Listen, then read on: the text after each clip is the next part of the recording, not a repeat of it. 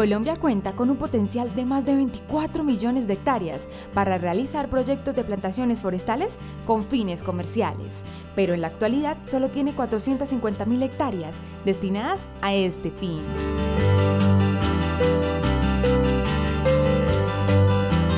Con el objetivo de ordenar el territorio y aumentar la productividad del suelo, el Gobierno Nacional, por medio del Ministerio de Agricultura y Desarrollo Rural y el Departamento Nacional de Planeación, gestionó ante la UPRA y en coordinación con el Ministerio de Ambiente y Desarrollo Sostenible, la elaboración de la zonificación de aptitud para el establecimiento de plantaciones forestales con fines comerciales.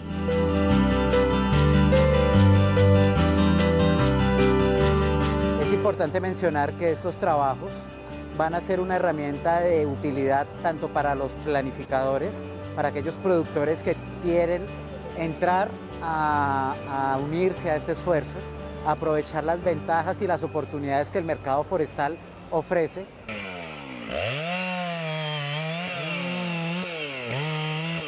Durante estos cuatro años de trabajo se han generado importantes instrumentos como 1. Zonificación para plantaciones forestales.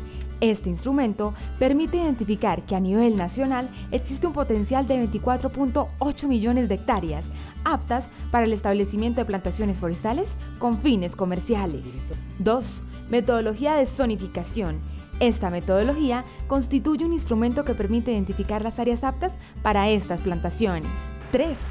Plan de acción para el desarrollo y consolidación de la cadena productiva de las plantaciones forestales para la abstención de madera de 2018 a 2038. Este es el instrumento de planeación estratégica que contiene las tareas que durante los siguientes 21 años se realizarán para lograr los objetivos estratégicos propuestos en los lineamientos.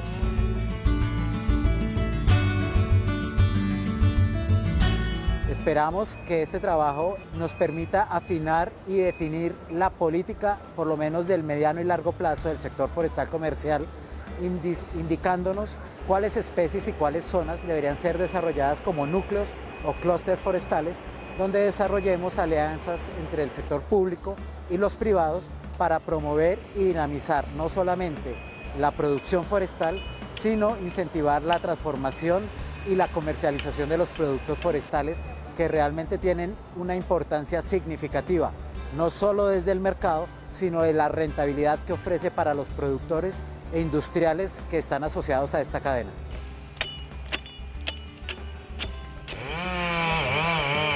Con la formulación de los lineamientos y el plan de acción, termina la primera fase del siglo de la política pública de la cadena productiva, de las plantaciones forestales para la abstención de madera.